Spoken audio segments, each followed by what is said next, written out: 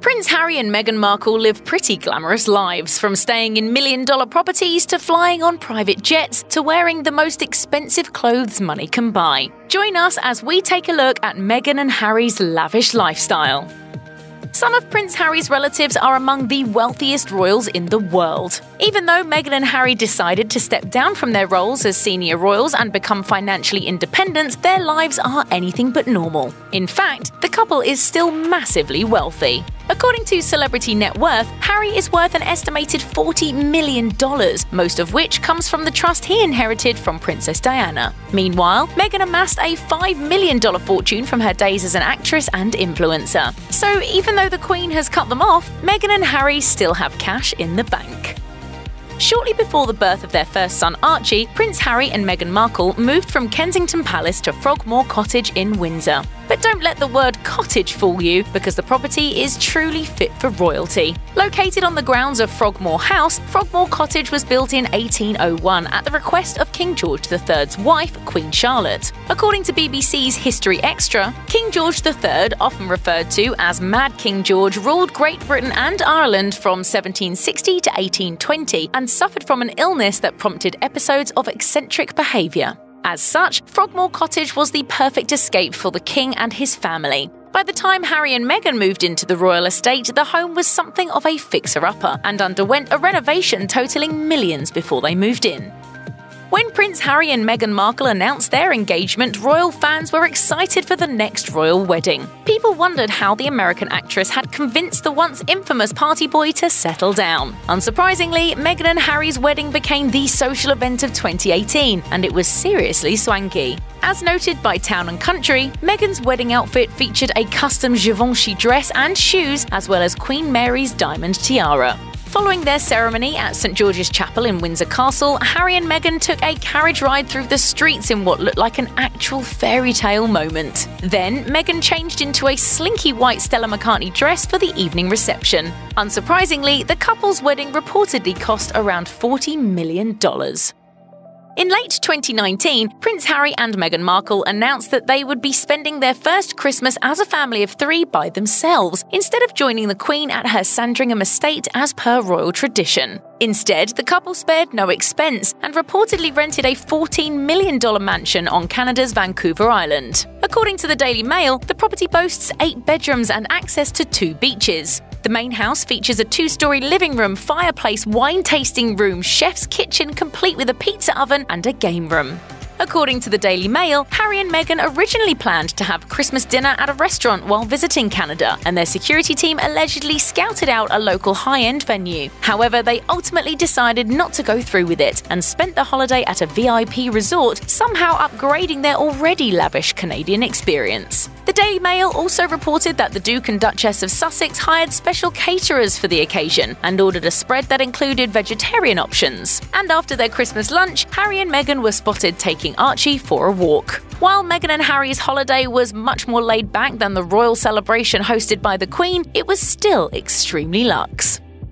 Sometimes official duties take members of the royal family overseas. And even though they've since stepped down from their senior roles, Meghan and Harry continue to live a jet setting lifestyle. Harry and Meghan's third date was a week long camping trip in Botswana, which was quite an extravagant adventure for a couple who had only been on two dates. Only two dates, and then and then going effectively on In holiday together in the middle of nowhere, and you know showing a showing a tent together. It's undeniable that jetting off to a foreign country on a third date is just not something normal people do. According to Town and Country, Prince Harry revealed, We camped out with each other under the stars. Unfortunately, fans hoping for details about Meghan and Harry's honeymoon destination are going to be disappointed. Vogue reported that the location of the couple's honeymoon was kept tightly under wraps, and we still don't know where they actually went. But if the couple's third date is any indication, it was probably a very romantic trip.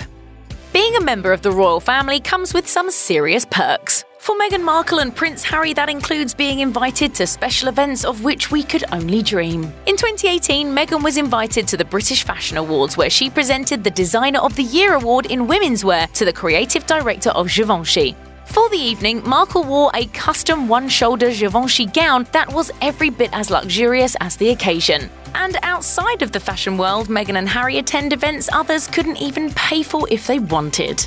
And in 2019, the couple attended the premiere of The Lion King in London, where they walked the yellow carpet and met Beyonce and Jay Z, which must have been nothing short of magical. It, it, it means a hell of a lot to us. When Prince Harry married Meghan Markle, Queen Elizabeth II officially gave the couple the titles the Duke and Duchess of Sussex. However, when Meghan and Harry announced their decision to step back as senior members of the royal family, there was discussion as to whether the Sussexes would keep their royal titles. After the royal family ironed out the details of the couple's exit, Harry and Meghan's website revealed the Duke and Duchess of Sussex will retain their HRH prefix, thereby formally remaining known as His Royal Highness the Duke of Sussex and Her Royal Highness the Duchess of Sussex. The Duke and Duchess of Sussex will no longer actively use their HRH titles as they will no longer be working members of the family as of spring 2020. The couple was also required to stop using their Sussex Royal brand, and they are no longer allowed to use the word royal in any future work they carry out. When Prince Harry and Meghan Markle were performing duties as senior members of the royal family, their work was pretty much non stop. Between official engagements, charity events, royal tours, and special events, it's hard to imagine how they balanced work with raising a newborn. Luckily, they reportedly had help, which is a luxury many families around the world don't have. In January 2020, people reported that Meghan and Harry left their son Archie in the care of Meghan's friend Jessica Mulroney when travelling to London. Meanwhile, Entertainment Tonight revealed that they also enlisted the help of a London agency to help them find a nanny. According to Express, members of the royal family typically use nannies who graduate from one particular college. Although the couple didn't go with royal tradition on this occasion, their selectiveness in hiring help for Archie proves they spared no expense. Before Meghan Markle met Prince Harry, she worked as an actress in Hollywood, where she got to meet many fellow celebrities. According to the Evening Standard, Meghan's inner circle includes big stars like Serena Williams, Abigail Spencer, and Priyanka Chopra. Naturally, the Duke and Duchess of Sussex's wedding was a star studded affair, and the guest list included Idris Elba, Oprah, Amal and George Clooney, James Corden, Tom Hardy, Elton John, and David and Victoria Beckham. Basically, Meghan and Harry have lots of famous friends who were more than happy to step out for a royal wedding. Meghan and Harry reportedly relocated to Los Angeles in March 2020, which will presumably allow them to see their celebrity friends more often. Meghan's mother, Doria Ragland, also lives in the area, meaning that baby Archie will have a lot more quality time with his grandmother. Leaving England was a major decision, but living in California means that the Sussexes have famous friends and family members nearby, which has got to be a good thing.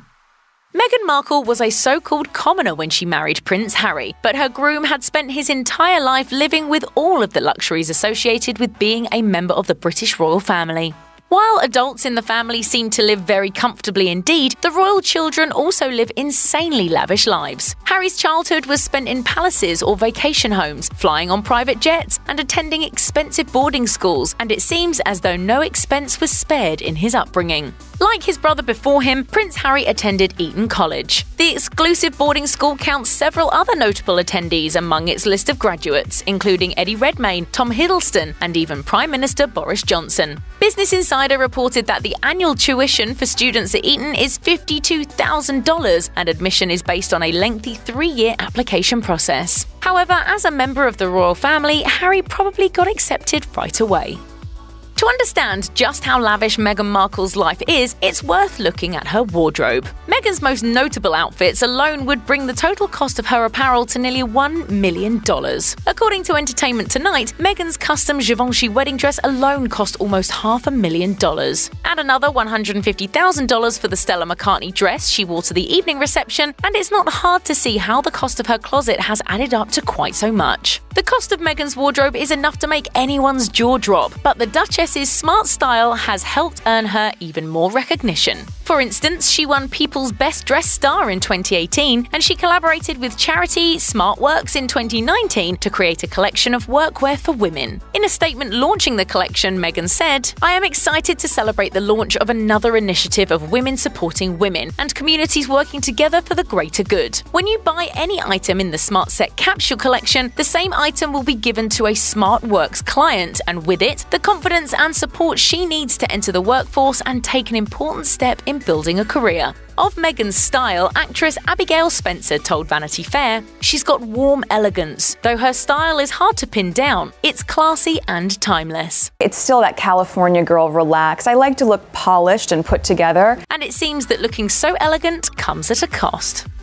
Arguably, flying in a private jet is the pinnacle of luxury. While Prince Harry and Meghan Markle's use of private jets has often come under intense scrutiny, flying in a private aircraft is just further evidence of the couple's enviable lifestyle. According to Town and Country, in August 2019, the royal couple flew in Elton John's private plane to the singer's home in France for a family vacation. Of the couple's trip, Elton John wrote on Twitter, to support Prince Harry's commitment to the environment, we ensured their flight was carbon neutral by making the appropriate contribution to carbon footprint. According to Town and Country, the tradition of giving birth in the Lindo wing of St Mary's Hospital in London began with Princess Anne and was continued by both Princess Diana and Kate Middleton. However, in keeping with the status as royal rule breakers, Prince Harry and Meghan Markle opted not to welcome their baby with a photo opportunity on the steps of the Lindo wing straight after their child's birth. Instead, details of the couple's birth plans were kept under wraps, and Meghan's chosen hospital was widely speculated right up until baby Archie arrived.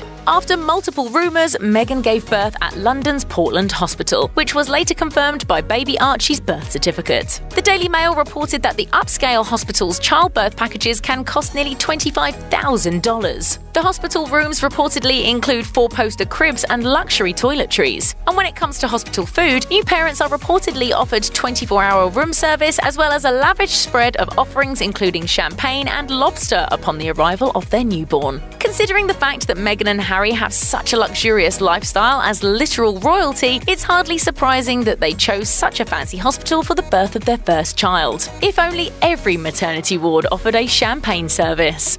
Check out one of our newest videos right here. Plus, even more list videos about your favourite celebs are coming soon. Subscribe to our YouTube channel and hit the bell so you don't miss a single one.